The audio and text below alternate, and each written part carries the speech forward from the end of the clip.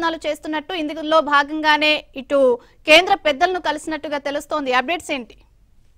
Priyanka so ఆంధ్రప్రదేశ్లో ముందస్తు మేఘాలు కమ్ముకుంటున్నాయా అనేటువంటి చర్చ మొదలైంది. సో ప్రస్తుతం ఏదైతే జగన్ ఢిల్లీ పర్యటనకు వెళ్ళడం అక్కడ ప్రధాని నరేంద్ర మోదీ అలానే హోంశాఖ మంత్రి అమిత్ షా అలానే ఆర్థిక శాఖ మంత్రి వీరందరితో కూడా భేటీ అయ్యారు.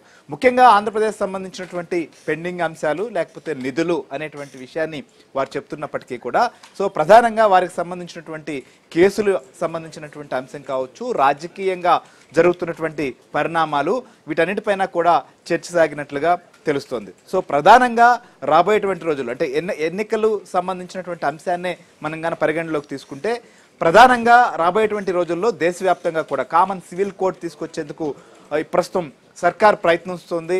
ఆ ప్రక్రియలో భాగంగా రాబోయే రోజుల్లో దీనిపైన సుదీర్ఘమైనటువంటి చర్చ సాగబోతోంది. పార్లమెంట్లో కూడా.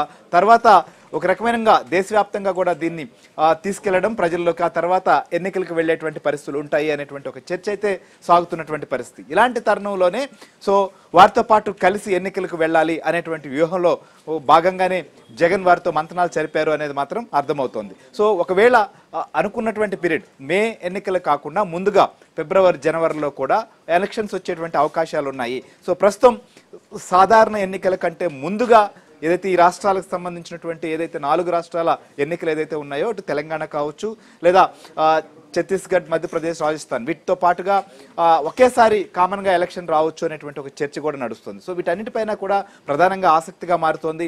ఒకవైపు ప్రతిపక్షాలు పుంజుకోక ముందే తాము ఎన్నికలకు సిద్ధం కావడం. ఇంకొక వైపు ఈ సమయంలో నిధులు ఏమైనా వస్తే వాటితో పాటుగా ప్రస్తుతం ఉన్నటువంటి పరిస్థితులను తమకు అనుకూలంగా మలుచుకొని ముందుకు వెళ్ళడం. ఇలాంటి వ్యూహం కూడా ఉన్నట్లుగా తెలుస్తోంది. సో దీనిపైన కూడా మనం డిస్కస్ చేద్దాం. దీనికి సంబంధించి కూడా అంటే జగన్మోహన్ రెడ్డి నిన్న భేటీ అయినటువంటి